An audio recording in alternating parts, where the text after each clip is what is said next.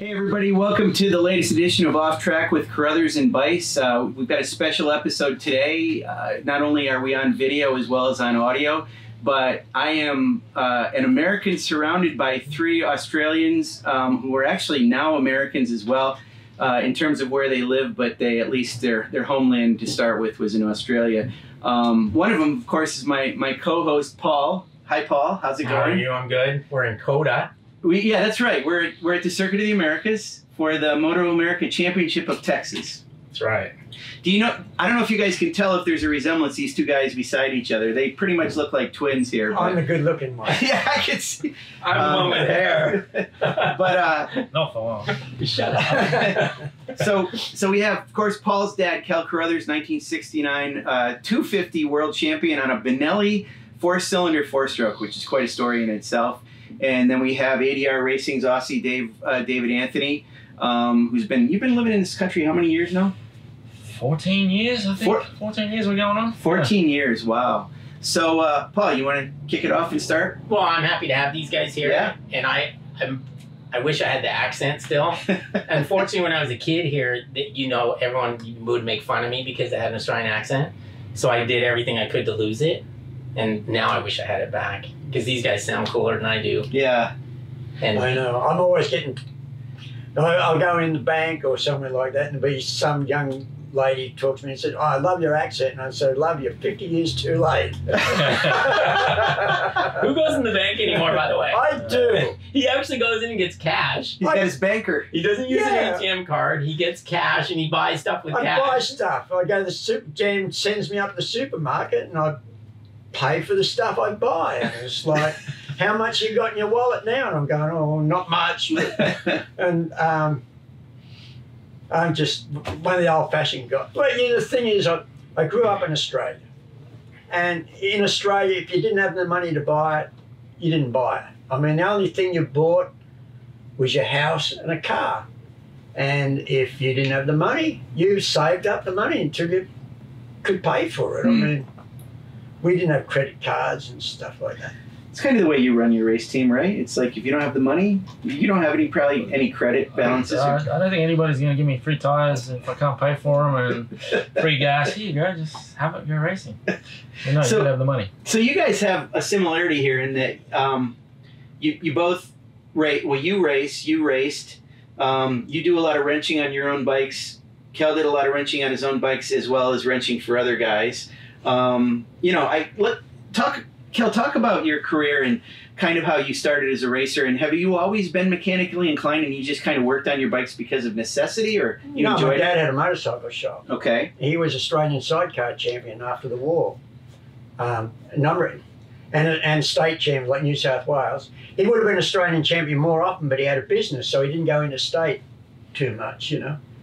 But when I was a kid, I mean, I I grew up in a motorcycle shop, and um, the Speedway in Sydney at that time was the biggest event in sport. You know, I mean, there was um, sports grounds Friday night, showground Saturday night. So I mean, motorcycles were just. Hmm. I had a motorcycle when I was eight or nine or something like that, Hmm. and I, it must have annoyed me, me mates because I had a motorcycle. I rode. Luckily, next to the shop was a fairly open paddock, you know. So I'd ride round and round in that, and so I just, you know, I was always in motorcycles. And when I come home from school, I'd fiddle with motorcycles, and my dad let me do all the stuff myself. You know, I mean, to help me, but I mean, you know, when I was 14, I knew how to balance a set of flywheels and all that sort of stuff, you know. So That's something else I got similar with. I got good, good grounding, and he had me doing pretty much all my own stuff. And when I started racing, believe it or not, my first race bike was like the the BSA Bantams and stuff that I raced. You know, when I was 14 and stuff in club events. So it's like a 125 uh, single two one- stroke, right? Yeah, because that's when 125s first started going. I mean, Right. 125s was a big new thing, you know. And then um, I started racing like the, the bigger bikes when I was like 15, and then when I was 16, I got my open competition license, like a, two years before I was supposed to have one. and um, it just, it's, I, I mean, it, and it was clubman's, what they call clubman's racing, and um, so you couldn't race amongst Norton and stuff. And they, they, you had the BSAs and Gold Stars with like the best thing, Mm. but I had um, my first fairly decent bike was uh, it was also my dirt track bike, and then when I went road racing, I had a 350 BSA cast iron B31 engine, and I had a Norton gearbox in it, and I bought a real Royal Enfield frame because they were the only swing arm things you could buy, and I put all that together, and Wow. so I did all that myself, you know, when I was a young guy. So it was out of necessity.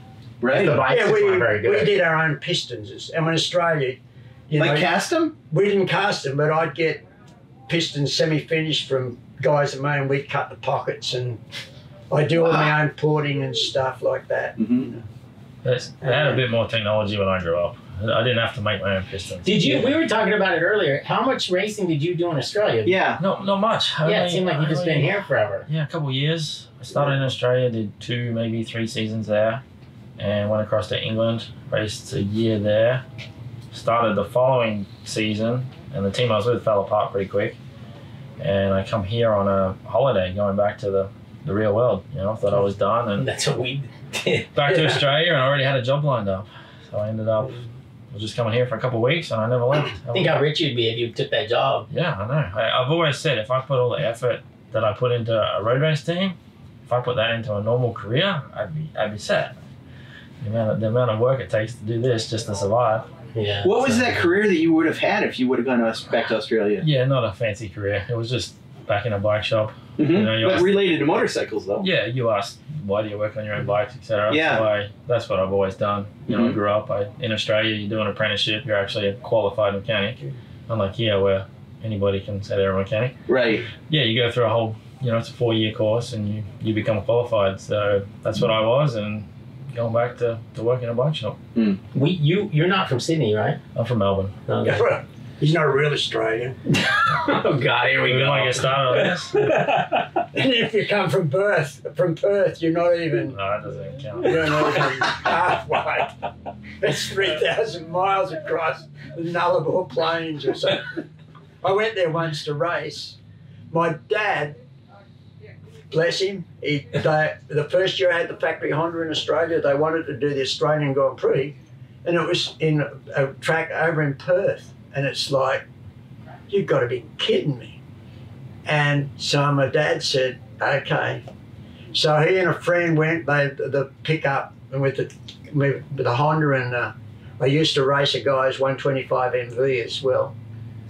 And they set off with that, and I mean it was from Adelaide to Perth.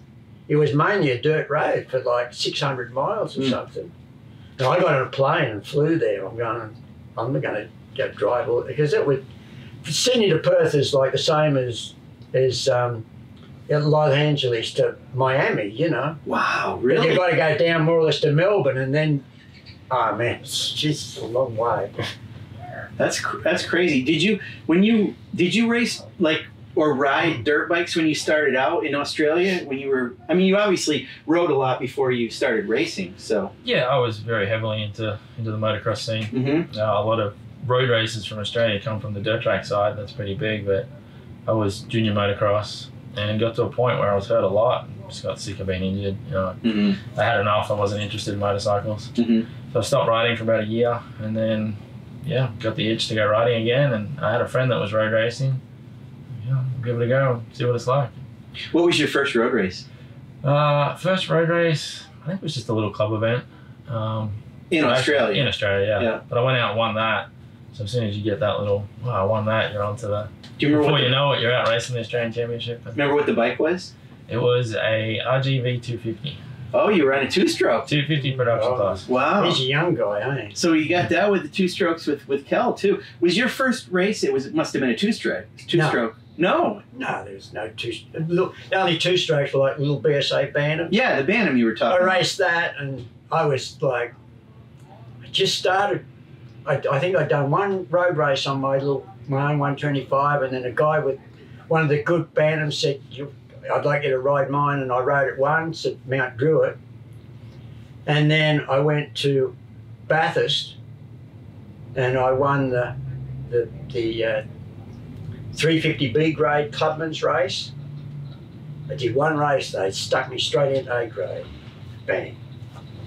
And then also, I don't talk about it too much, but I'm kind of proud of it. I went, I was 16 and I just got my open competition license. And dirt track in my day were like little road races. I mean, my 350 BSA had a Manx Norton close ratio gearbox in it and stuff, you know. Hmm. and I'll never forget it. I was 16 and I went to, it was just outside Sydney. I can't remember the name of the track. And I was, I had me 125 BSA Bantam and I had me 350 BSA and I made my dad's 500 Ariel. And um, so I went there. I won the 250. I won the 125 race and I won the 250 race on the 125. And I was a C grade dirt track. So I won the the C grade 350. I won the C grade 500. I fell off in I think the B grade 500, but I won the B grade 350. And they put me in the Ace of Scratch race at the end of the event, event all the top guys and I finished fourth in that. And and it was like Kel Carruthers 16 wins. I think I rode in 14. I won. There was 14 races and I won 11 of them. Really? And then Wow. they put me straight in A grade. I went from C grade to A grade, and they just screwed me right. And then all of a sudden, you know, you're an A grader and you ain't quite as good as you thought you were. But yeah, it was, What- me, what- it was my first dirt track race. what What is it about you that you had you have a knack for racing? What What is the I think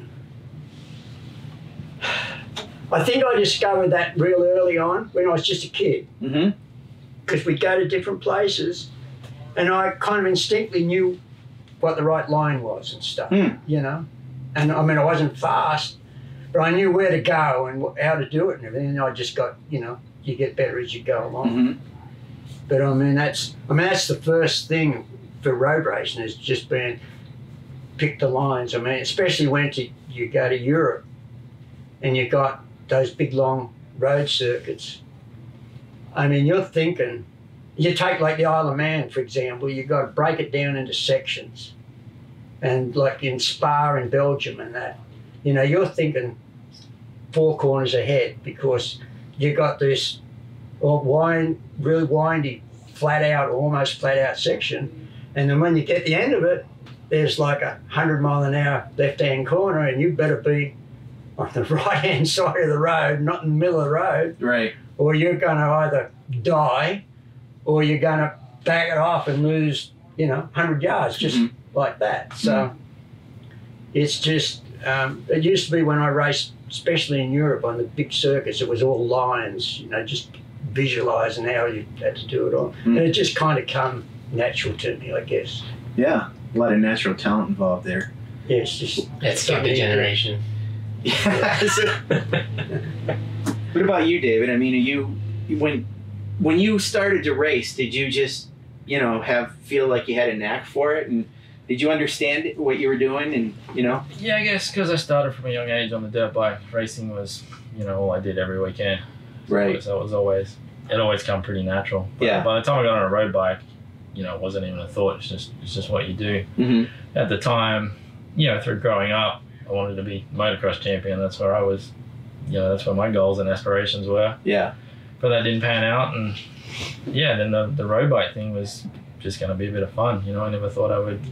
You know, realistically, I knew how expensive and hard it was to get into the sport hmm but uh, I really enjoyed it and just worked hard and made it happen. I actually got a really good job right at the time I started racing, and that's that's what. Without that position, I wouldn't have been able to able to do it. Mm.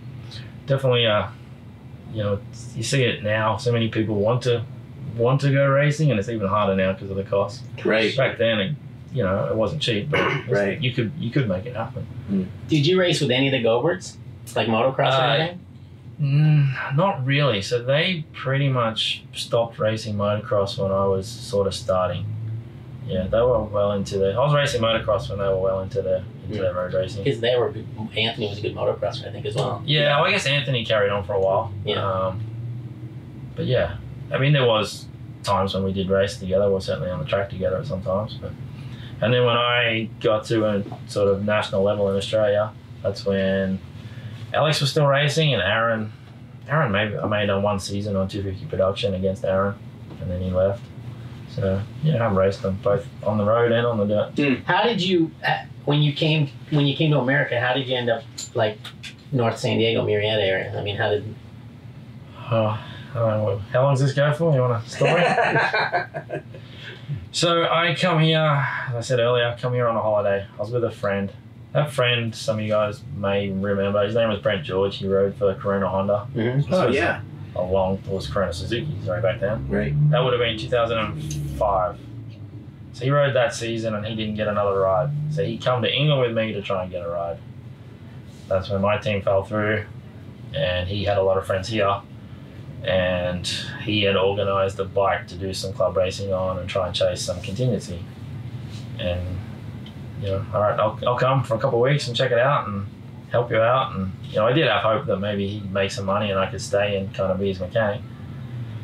But we actually had a friend and got a job driving a car across the country.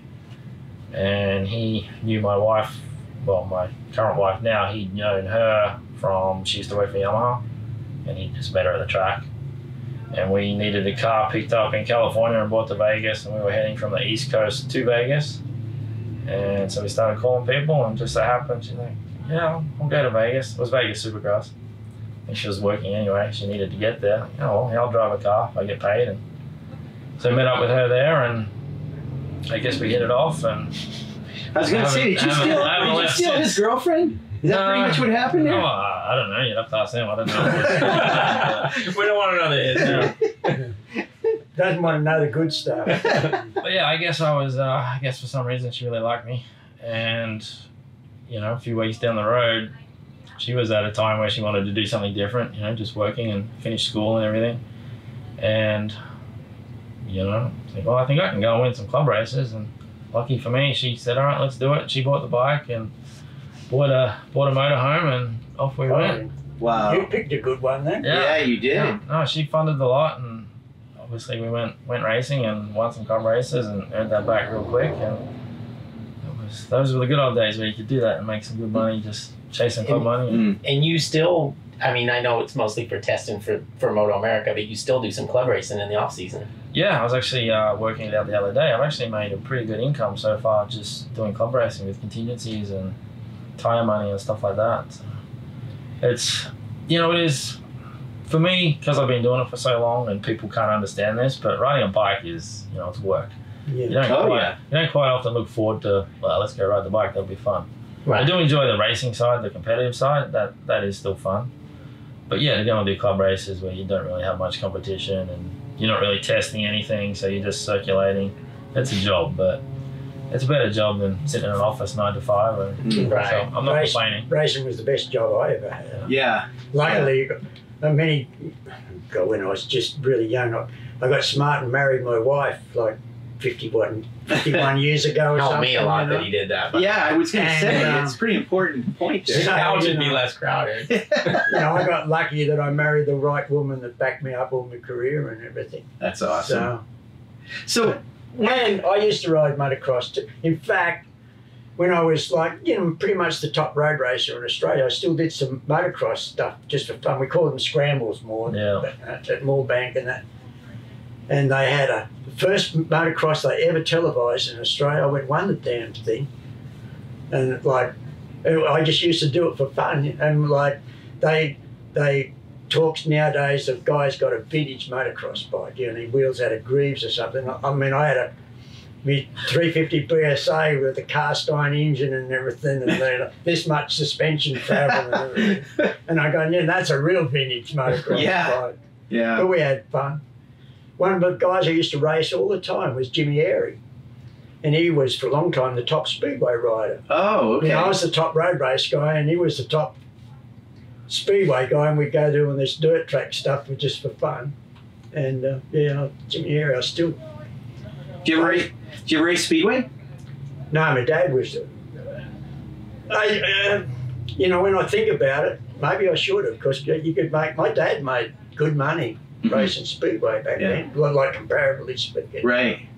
Did you ever race speedway? No, I've never done it. No, you ever I- been around it? No, not at all. Yeah. I mean, it's pretty big in Australia and Right. in Europe. It's not that big here, but we Yeah. have the you know flat track, which is somewhat similar a little bit. So Right.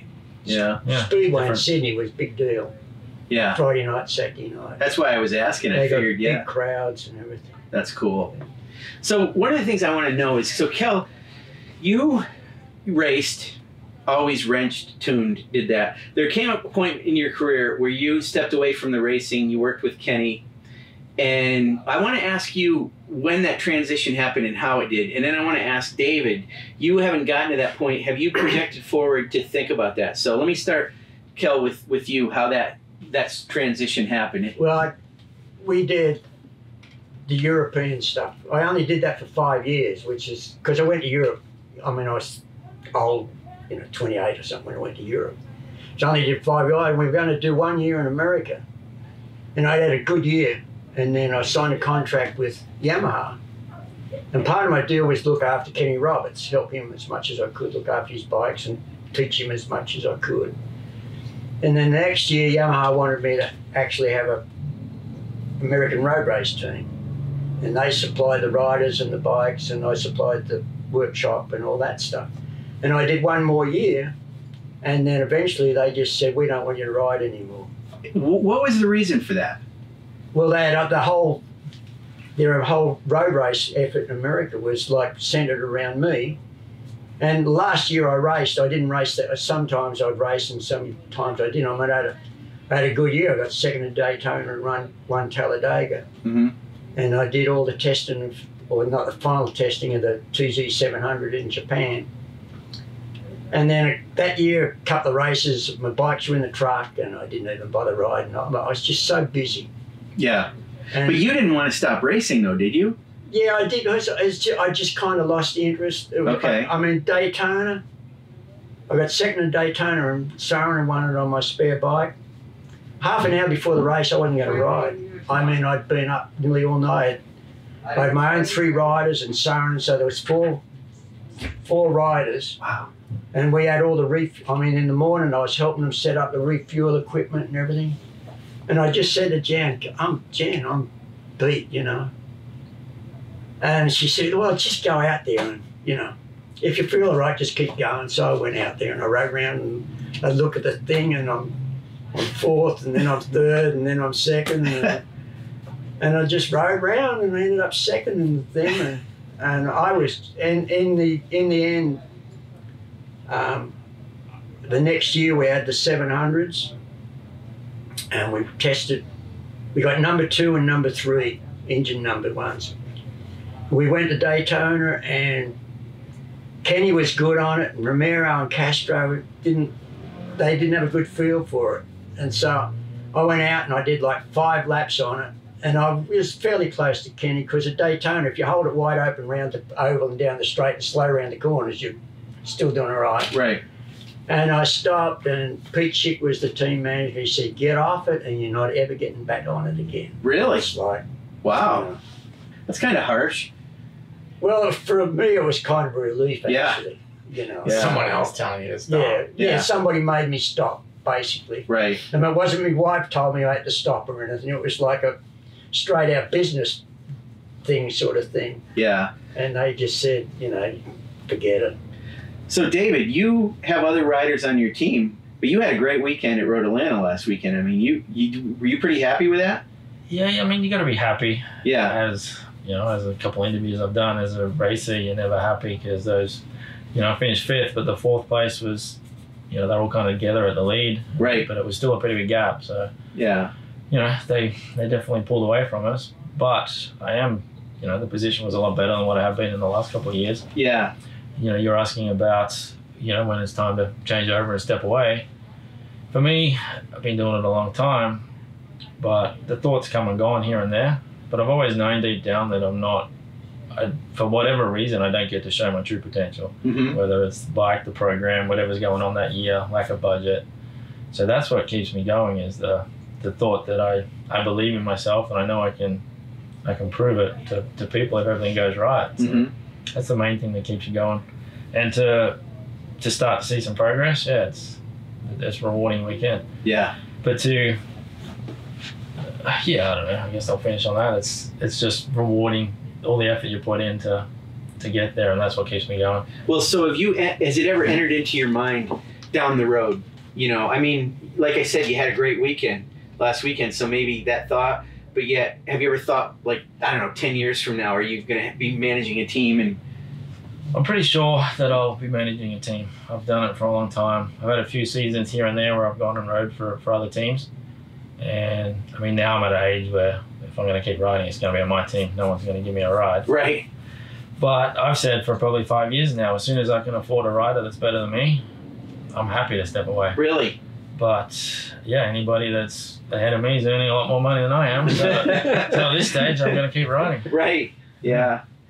Is there? Some, oh, go Oh, go ahead. ahead. Uh, well, I was going to say, is there anything different about your bike this year? I mean, what do you think about how things went at Road Atlanta? No, that's what everybody's been asking. What's Okay, different? great. Uh, the program itself is exactly the same. Yeah. It's just me. You know, different Wow. mindset.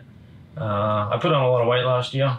I'm still showing a little bit, but Yeah, you do. You do look thinner through the face. but though. I've been working hard to, to Wow. lose that weight and get fit. And normally it's you know just crazy hours getting ready. Right. This year I left pretty much everything the same, so there wasn't a, too much prep work. Yeah. You know, we weren't restructuring, so I was able to focus on myself a lot more. And here I'm gonna go to bed, gonna do a normal day's work, which normally never happens in this industry. Right. So I focused on, you know, I work nine to five, and if the work's not finished, doesn't matter. I'm gonna, my day's done. And it made a difference in yeah, the results. So. and including in that day is, is my exercise. Right. You know, last couple of years I haven't done any kind of training, nothing. Mm. That's where this year I really tried to step it up. And you know, I don't think I've always been relatively fit. I Mhm. don't think that's it. It's more a, a mindset, knowing that you're prepared. Right. It's probably more the more the key this year. Just believing, really. Right. Yeah. Well, hang on. I got a question. I'm a bit disappointed in you, Sean. Oh, okay. Oh. So every every podcast I've listened to, Oh. it appears as though you've spent hours on Google Yeah. Okay, I got one. finding a fact about wherever they're from Right. the country. I'm ready. So let's hear some I Australian wanted to s- crazy fact. I wanted to start that way, actually. I. Were He asked me some really ridiculous stuff I- I did. I'm. I did. But were you were you born in Australia? You were, Yes. right? Yeah. And you were there till how old were you? Five. Okay. So you maybe I don't know what what age the Australians take their walkabout, but you might have missed it. Did you do a walkabout? Hell no. What's did you do one? Um, what's a walkabout? I don't thought know what walkabout Australia- is. You've been watching Crocodile Dundee. Yeah. Yeah, you go out in the you go out and you visit the Aborigines. You don't do you know you go to Perth or whatever you have to do. I don't know. You need to get back on Google. Well, okay. We talked about. Did you ever wear that hat that has the corks on it? Yeah. Okay, what? No. You never wore that hat? The, the, it's not bad now, but this, this was the Australian salute. Because we used to have flies in Australia like you wouldn't believe. That's why they wore those hats with the cork. It's, now it's like, it's good there now. I mean, they don't have it. But Yeah. I can remember, you probably don't know Jack Ahearn. I mean, he was one of the top Australian riders. And he used to tell them, "No, don't go to Australia. There's nothing but flies there, you know. 'Cause we, you know, we didn't want any of these English guys coming and living in Australia or all that stuff. Just leave it to us guys. Yeah, so, no, but I didn't have to wear my hat with corks on it. Does the water actually go the other direction down the drain? You know, I keep every time I go back home. I've got to check that out. I got to You look at it. I forget every time. I've got I that don't too. know. It does. no It, it does. It has to. It, I don't understand why. It's like under. It's, It's, down uh, under, I guess, right? It's Well, upside it's- down too. It's some. It's something to do about the spinning thing. The gravitational pull of your Yeah. urine. We're walking upside down down there. so, Kel, you you were inducted a couple years ago into the Australia. What is it? Uh, Sports Hall of Fame. I was Professional? inducted into. I was one of the first 30 into the Australian Sports Hall of Fame. Wow. That was 1985, I think. And I was the only motorcycle rider in it. And for years, I was the only motorcycle rider in it. Now there's only four of us in it, anyhow. A couple of guys you probably know, Gardner and, you know, Stoner, stoner, and Doohan and right. Stoner, yeah. Okay. I mean, there's four of us. Right. That's it. And then three years ago, they started the Australian Motorsports Hall of Fame. And they had me go out there, and I was one of the original 30 in that. So I mean, in the two Australian ones, and the Australian Sports Hall of Fame. That's really a neat thing. I mean, it's Mm. you know, I've got my certificates, and um, to the tenure year, I got a, a certificate from the Queen of England and stuff. You know, I mean, Wow. you know, some pretty neat That's stuff. great. You know, and it in Australia, the Sports Hall of Fame is is a big deal. And they've got a nice museum down in Melbourne. Under the under the Melbourne cricket ground. And I went and looked at it while I was out there, and it's pretty. ni- It's nice to go and see your name up, you know, Yeah. on the wall and all that sort of stuff. Yeah. Do you, do you get back home? Do you go back to Australia very often? Normally it works out to be once every couple of years. We'll Wow. go back for three or four weeks. And you have family back there? Yeah, mum and dad are back there, but they they tend to come out here more than Okay. more than we go back. I do have a brother, but yeah, don't really don't really speak to him much. Really? How many years apart are you guys? We're only one year apart. Oh, really? Yeah. And he's probably not a racer, not into motorcycles at all? or- He's actually I don't know when it was last year. Uh, world jet ski freestyle champion. Oh, really? Oh, really? Wow. Oh, that's cool. That's Yeah. Paul's sport. Paul. Wow. His board too. He ended up working on those. Oh, no kidding. Yeah, he Okay. worked for the I CD did, Factory uh, team. I did the Sea-Doo factory stuff. Really? It was kind of neat because, I mean, but I I'd been my own rider and all, and then I had the team and the riders come in and we didn't have computers and all that stuff, you know. And the rider would come in and kill. It's no good. What's wrong with it? I don't know. So you'd have to figure out what was wrong with the bikes and do all this stuff. With the watercraft, I used to do all the testing. We had, we had, uh, they rented this lake every Monday, and where I did it all, um, we had dynos and everything, and I mechanics and stuff, and I'd go and I'd do all the testing and everything. And then you'd go to a race, and the guy would come in and say, "Kel, it's not very good" or something. I'd you get on it, just go ride the thing, you know, come back and say, "Yeah, there's nothing wrong with it. It's fine," or whatever it is. So I mean, it was kind of a different world. It was kind of fun, and then the motor, the watercraft in racing thing just Yeah. took a nosedive. But So here's a random question about Here we go. Googling. this could be Is it. it actually true? So, people with reddish red hair, freckles in this country, we tend to call them gingers. Do you guys actually call them blues? Nope, never No. heard that ever. You haven't ever heard that? you know, you guys come up with the craziest. I, things. I read Don't that. bring Yeah. me into this. Jeez. And how about well, okay, what the other one is of course a girl is a Shirley, of course. Is that- Sheila. Oh, Sheila. Oh Sheila! Sheila! God. I screwed that up. All right. But you don't Just call gotta go to your local outback to see that. you don't Shit on the you don't oh. call you don't call red hair red No, haired people Sheila. blues. I that's somebody told And me what's that. really neat in Australia, and this might be one of my problems, because I can't remember people's names. I mean, I just do not remember. I don't. I mean, I don't know my own telephone number. I don't know the license plate on my car. I just don't remember all that stuff. But in Australia, it's either mate or love. How you going, mate? How you going, love? Mm. That's it. You know, you don't have to know their name or anything. but we don't That's call the them. men and women. we, Right. Yeah, we. Yeah, I was gonna say. Don't mess it up when you go. we- Yeah, I- that could be trouble for we me. know they're Sheilas, but nobody ever. God, I haven't heard that for years. I mean, I go. I don't go back now much anymore, and but I used to go back with the race team and stuff. Right. I used to test it, and I'd go back and I'd get guys like Jeffrey Sayle and that, and they'd come out with those things, and I'd go, "Oh my God!" You know, the sayings they have and everything's unreal. My mom has all those things. Does she? Oh, yeah. Like she, she, uh, she, the Sheila reminds me she, when somebody, when somebody doesn't shower much, she, she always says, "Oh, they think hygiene's a tall Oh, Sheila." Sheila, yeah. you know, hygiene, tall Sheila. Yeah. So my mom says more of that stuff than he does. Yeah, I she's can't- got all. She's got all those some of things. the things they s- I mean, you can get. I mean, they even on, on the internet sometimes you'll see a list of Australian sayings and everything. And I mean, they're hilarious. Some of the things. Never they even say. heard of them. Yeah. God. Well, that was back. I mean, this is a bit before your time, mate. So Love. Do they think back home that you're? Do they think you've lost any of your accent from being over here for as long as you have? Yeah, so everybody here tells me I sound very Australian. Very. yeah. But yeah, as soon as anyone from Australia speaks to me, oh, you sound like an American now. Oh no! I don't know how you get that, but you know, I've never, you know, Paul talked about trying to lose his accent because wanted to fit in. right. You know, I've never tried at all to lose it, but you definitely try to speak clearer so people can understand you. Yeah. You know, I was never able to go for through a drive-through for the first Oh, four yeah. years of living here because oh, I know, I no still chance of ordering problem. it. Yeah. He can't if he he goes he, he drinks Diet Coke, and when he says no matter what the waitress never understands what he's talking about when he says a Diet Coke. Diet Coke. And then when I go home, they're so proud of me that I still got an Australian accent. Yeah. Oh, yeah. It's like, but you, yours really has neat. changed though, right? Your has to had to have changed a little, hasn't it? I suppose. I mean, I don't think I have an accent anymore, but I guess I do. Oh, you do. Yeah. Yours yours is stronger than David's, but and, and Paul's is the least of all of you. But Yeah, you know, don't Di- have it at all. being that he's Aussie Dave, he's got to continue to be have an Australian accent. He's not Aussie Paul at all, so he, he doesn't. You know, you don't have to tell that, and we don't need to tell that you're Aussie Kel because you're this 1969 world champion. Oh, yeah. So that's- that was you know it's 50 years ago. it doesn't seem that long, does it? Though, does it seem like it was that long ago? no, I guess it doesn't. But you know, it's you remember things from the past. You forget a lot of things. I mean, people ask me stuff, and I'm going, you know. That was 50 years ago, or that was 60 years ago, or that was 65 years ago.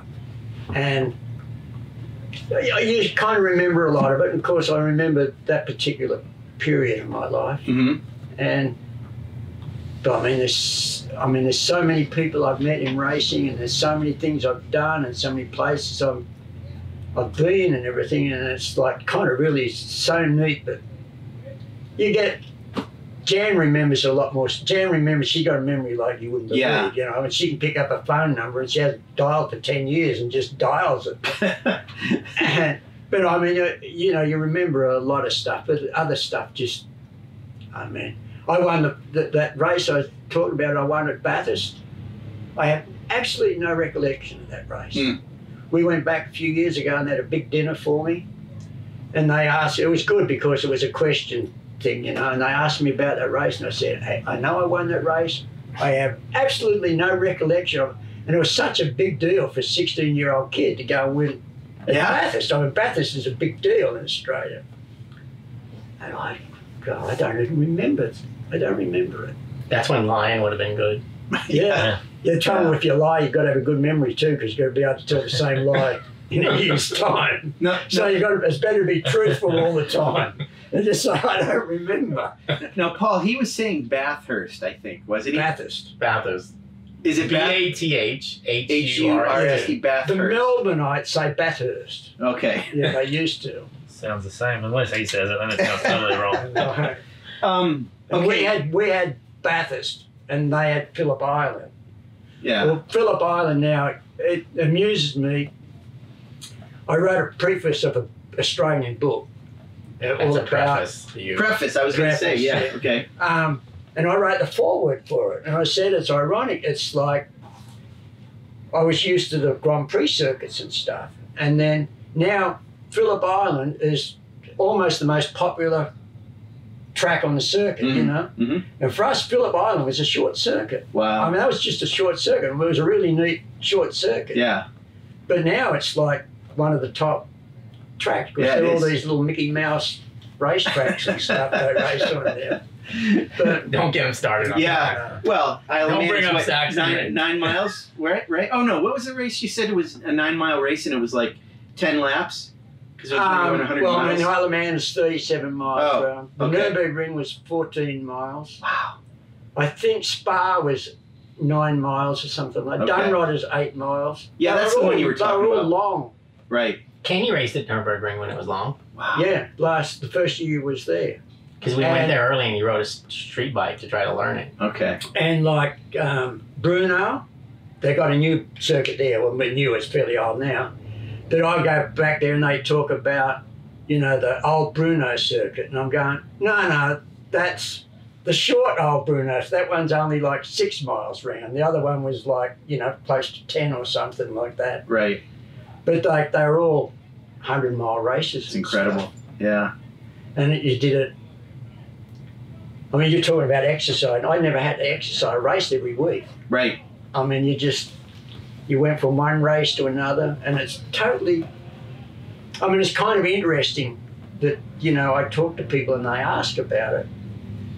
I mean, when I went to Europe, my first year was difficult because you've got to learn these tracks, and the guys have been there before you, and they won't tell you what gearing you want or anything. I mean, you're just another guy that's going to come and race them. Right. But we used to get beginning of the year, we'd get this uh, motorcycle paper, and the middle page was all the FIM road race, sanctioned road race for the whole year. And you would sit down, I'd have Jan and I'd be working on it, and we'd write the first half of the season. And you were actually asking for a start and how much money they'd pay you to go. Because Wow. prime money was virtually nothing, it was all start money. Right. Of course, there's no no internet or anything like that. It was all you'd write letters, you Right. and you'd have your letterhead and all that, and you'd ask if you, you know, which you I'd wanted to start. And I had three bikes. I'd try and get three three classes if I could. I always get two.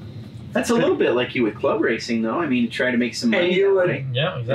Yeah, Same thing. You would negotiate, and I was pretty well organised because I had a woman in England handle my mail. So all my mail went to her, and then Tuesday morning she put the motorcycle paper in and would send it off to the next racetrack because I'd be at another racetrack on Thursday. and My mail would show up, and I'd have all my correspondence. And if it was really important, she'd send me a telegram to the thing because you know an organiser come at the last minute, and you would write to sometimes you'd be writing to three different racetracks in Europe at the same for the same weekend and you'd be just negotiating.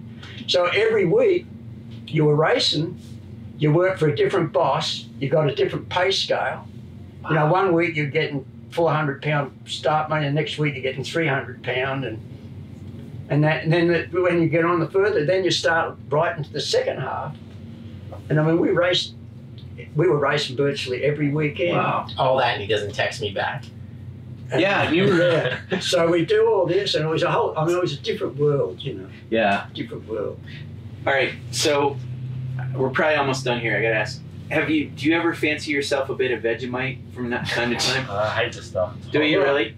Can't even Yeah, smell it. Vegemite. You just put a little baby, little baby, not a layer. I mean, just a, a little bit on it, But it still because they think it's like putting jelly or something, and they slap it on, and it's really bad. Isn't it really salty or something? yeah, yeah. salty. Put it on, just just barely a whisper on it. You like it? Yeah, it's. Yeah, I mean, it's He good. doesn't eat it at home. Wait, you ever, you ever have it. Paul? You like It's it? not- No. I wouldn't even be your friend if you liked it. Why? 'Cause There's we tried something it. wrong I like salty The stuff. good I'd like to try it. Try it. Well, I'll bring you some of It's that. Black. it. It's it's black and it's, It's pasty black. And yeah, isn't it? Yeah, Yeah. Yeah, it's it's- It's yucky stuff, I guess. It's like tar. Yeah. Salty I'm not- tar. yeah. Uh, my favorite things. Tar and salt. You might like it. Yeah, maybe. I don't know. I mean, they have good candies and everything. They have minties and all that good Oh, stuff in that's- Australia. And They do have good they candy. have Yeah. good candy and everything. You miss that? I like the Yeah. violet crumble bars. My wife's Violet- over there in yeah, the corner violet. nodding at the candy going, yeah. I can remember when I was a kid. The, my dad, my one of my best friends, his dad had a milk bar, and he'd let us know when the violet crumble bars were coming in because it was. They weren't on all the time. They were pretty scarce, you know. When Wow. Violet crumble bars showed up. It was like, oh, it was a big deal. What's a milk bar? Is it like an ice cream shop? Yeah. I was, Yeah, I was waiting for that. I could see you Yeah, taking he's milk bar. You go in and That's sit and have milk? I mean, it's, it's like you get shakes and stuff. oh, it's like Dairy Queen in Shakes Australia. and candies and Well, stuff. I, I wouldn't even say that. When I was growing up, a milk bar is like the corner store. You know? Oh, yeah, okay. true. Your bread, your You get a milk, meat your pie there, too. Oh, Yeah. so you would go like people still buy milk in a convenience store. Is that why it was It's called like- a it's milk like bar? 7-Eleven, you know? It's your Okay. local home, you know. Okay, so it's not an ice cream shop. It's No. No. where you In get my your day, milk it and- was more just a milk. There was more milkshakes and stuff like Oh, that. Yeah. so- You didn't get groceries or anything like that there. and Vegemite, of course. No, got that at the grocery store. okay. Hey, we're back at gro- talking about grocery stores, Paul. Yeah, your favorite. So, anyway, well, let's wrap it up. yeah, it was I good. think we've worn everybody out, and they know too much about Australia now. Yeah.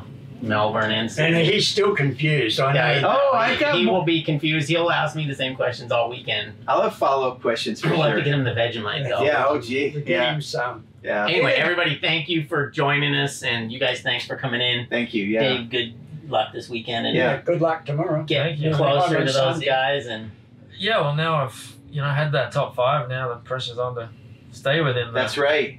Be the next bike after those big factory ones. That's the right. Stay on it. So, yeah, stay Staying on it. on it's pretty important. yeah. So uh, yeah, those of us that uh, listen to the podcast continue to do so, and uh, also don't forget our MotoAmerica Live Plus, where you can watch all this the weekends racing as well as uh, Fox Sports 2 and, and down the road there, NBC Sports. So thank you, Sean. Thank and, you, Paul. And uh, thanks, guys. Thank you, guys. Yeah.